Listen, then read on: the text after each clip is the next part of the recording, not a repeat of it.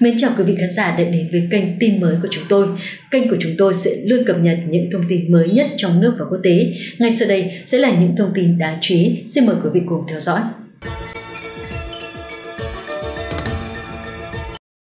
Chào mừng các bạn đã quay trở lại với bản tin của tin mới. Trong bản tin ngày hôm nay, các bạn thân mến, tin mới sẽ mang đến cho quý vị và các bạn các nội dung sau. Thảm họa lũ lụt ở châu Âu. Kính thưa quý vị khán giả, trong vài ngày qua, lượng mưa lớn ở Trung và Tây Âu đã gây ra lũ lụt quy mô lớn. Tính đến 16 giờ chiều nay theo giờ địa phương, số người chết đã lên tới 200 người, với hơn 1.000 người vẫn mất tích và số người chết tiếp tục tăng. Các phóng viên Tân Hoa Xã nhìn thấy tại hiện trường khu vực thiên tai, thị trấn là một đống hỗn độn, tín hiệu nước, điện và điện thoại di động bị gián đoạn, các con đường bị phủ đầy phù sa, đồ lật vặt treo trên ngọn cây và một số ngôi nhà đổ nát một đội cứu hộ bao gồm quân đội, cảnh sát, hội chữ thập đỏ tìm kiếm những người mất tích đang được thực hiện để giúp lập lại trật tự trong khu vực. Các câu hỏi như nguyên nhân lũ lụt và hiệu quả của hệ thống phòng chống thiên tai địa phương cũng bắt đầu được xem xét và phản ánh.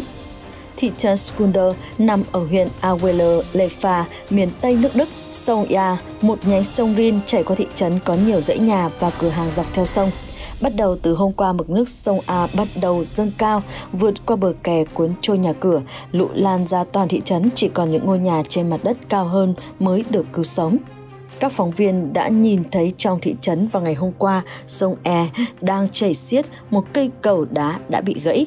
Nệm, hộp gỗ và các mảnh vỡ khác từ thượng nguồn treo trên ngọn cây và những ngôi nhà trong thị trấn chứa đầy phù sa và các cành cây. Các tín hiệu nước, điện và điện thoại di động của địa phương cũng bị gián đoạn. Banderwe, đội cứu hộ ở gần đó và cảnh sát đang ứng phó tại địa phương tìm kiếm những người mất tích và giúp dọn dẹp đống đổ nát. Thủ tướng Đức Angela Merkel đã đến thị trấn Skunder để thị sát thảm họa. Nhìn thấy tình cảnh thê thảm sau thảm họa, bà nói rằng đó là cực kỳ kinh hoàng và sốc và mức độ nghiêm trọng của thiệt hại do lũ lụt không có thể diễn tả bằng lời của người Đức. Ronald, một thiếu niên 11 tuổi ở địa phương, kể lại lúc đầu nước dâng chậm, đến chiều cùng ngày tầng hầm nhà em bắt đầu ngập. Đến 6 giờ chiều, nước ngập toàn bộ đường phố, gia đình anh ấy không thể rời đi, ở nhà cả đêm chờ cứu hộ. Đã có lúc tôi nghĩ rằng chúng tôi đã bất lực, đầu óc trở nên trống rỗng, anh nói. May mắn thay, gia đình đã đợi đội cứu hộ vào lúc 5 giờ sáng hôm sau. Lefa và các vùng lân cận Nordrhein-Westphalia là những vùng bị ảnh hưởng nặng nề nhất ở Đức. Tính đến thời điểm thứ 19 theo giờ địa phương, lũ lụt đã giết chết 117 người ở Lefa và 47 người ở Bắc Rhine-Westphalia. Tại Bỉ, nơi tiếp giáp với bang Lefia của Đức, hơn 120 thị trấn và thành phố trên khắp đất nước đã bị ảnh hưởng với hơn 30 người thiệt mạng và hàng trăm người mất tích. Thủ tướng Bỉ De Croo cho biết đây có thể là trận lụt tồi tệ nhất từng trải qua trong khu vực.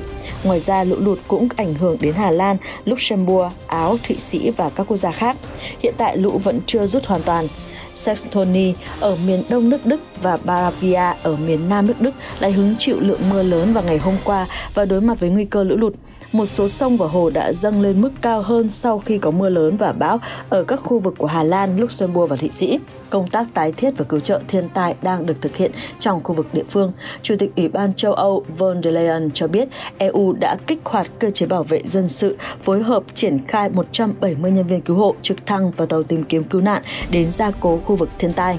Bà Merkel nói rằng chính phủ Đức sẽ thông qua một chương trình bao gồm viện trợ nhanh chóng, các nhiệm vụ trung hạn và khôi phục cơ sở hạ tầng, liên bang và tiểu bang sẽ làm việc cùng nhau để giảm nhẹ thiên tai. Nhiều chuyên gia ở châu Âu cho rằng lũ lụt nghiêm trọng là do thời tiết khắc nghiệt và biến đổi khí hậu. Về mặt địa lý, hầu hết các khu vực bị ảnh hưởng đều có khí hậu ôn đới hải dương. Lượng mưa tương đối đồng đều quanh năm, tập trung vào mùa thu và mùa đông.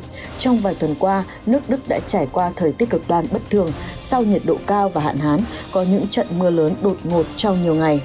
Lượng mưa tập trung ở những khu vực có nhiều đồi núi và mạng lưới sông ngòi dẫn đến thường xuyên xảy ra các thảm họa thứ cấp như lũ lụt lở đất, Marco Manita, nhà khí tượng học tại Văn phòng Khí tượng Đức cho biết sự tích tụ của áp suất thấp ở miền Tây nước Đức được bao quanh bởi áp suất cao, ngăn không khí ẩm từ áp suất thấp tràn qua và cuối cùng tích tụ và gây ra mưa bão cực lớn.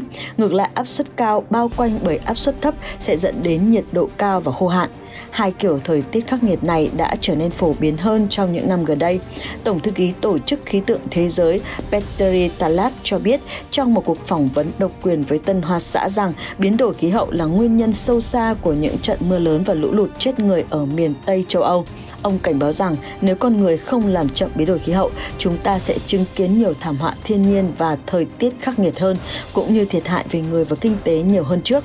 Ngoài yếu tố biến đổi khí hậu, hiệu quả của hệ thống phòng chống thiên tai của Đức cũng bắt đầu được kiểm tra và phản ánh nhà dịch tễ học Karl Lauterbach, đảng viên Đảng Dân Chủ Xã hội trong Đảng Cầm quyền của Đức cho biết, chúng ta không chuẩn bị sẵn sàng cơ sở hạ tầng cốt lõi cho thảm họa, cũng như chúng ta phải đối mặt với các bệnh truyền nhiễm.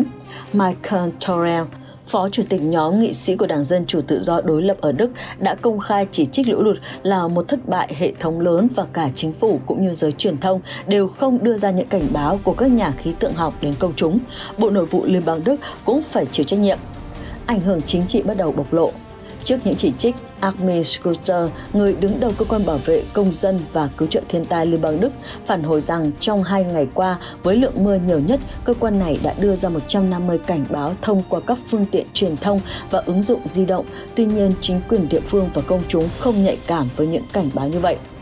Horst Schrieffer, Bộ trưởng Bộ Nội vụ Liên bang Đức và là thành viên của Đảng Liên minh, cho rằng việc đối phó với thiên tai không nên do chính quyền trung ương mà do chính quyền các cấp nắm rõ điều kiện địa phương. Ông cho biết một số cáo buộc có động cơ chính trị và nhằm gây ảnh hưởng đến cuộc bầu cử Hạ viện Đức trong thời gian tới.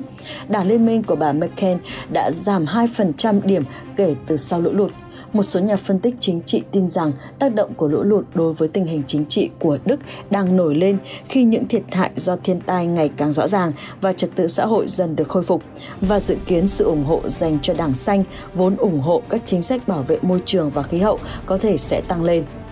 Ứng cử viên Thủ tướng Đảng Xanh Annalena Baerbock đã trở lại Đức sau khi nghỉ phép sớm bà viết trên mạng xã hội rằng lũ lụt cho thấy biến đổi khí hậu là một vấn đề cấp bách và cần đẩy nhanh các biện pháp hiệu quả để chống lại biến đổi khí hậu.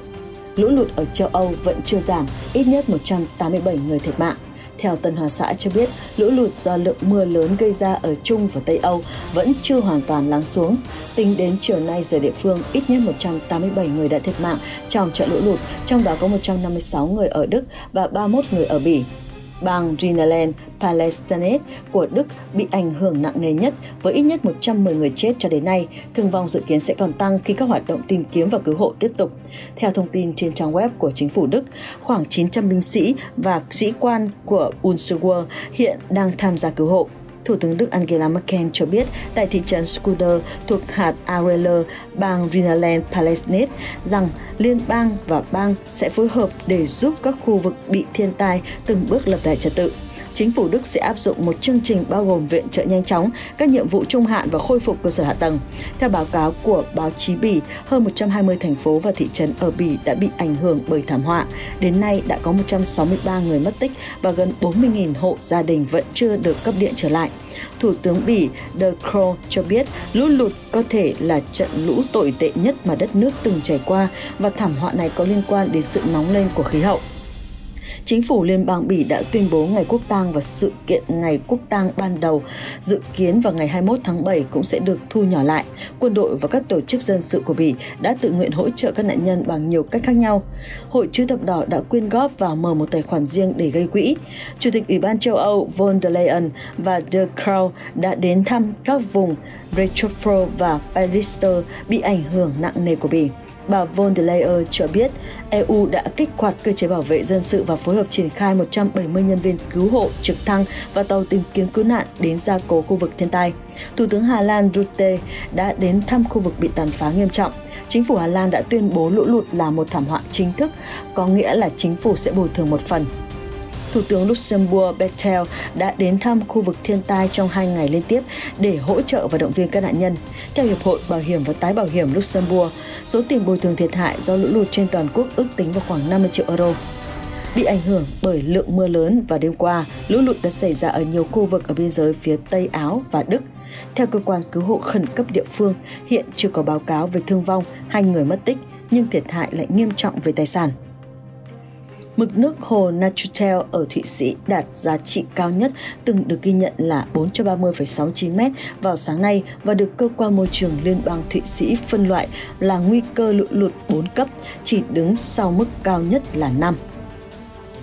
Và thông tin trên cũng đã kết thúc chương trình hôm nay của tin mới.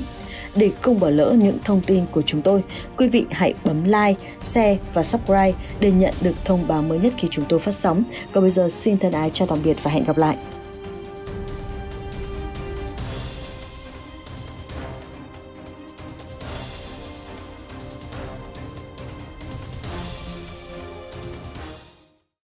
Vừa rồi là thông tin cuối trong bản tin ngày hôm nay. Cảm ơn quý vị và các bạn đã quan tâm theo dõi. Xin kính chào và hẹn gặp lại.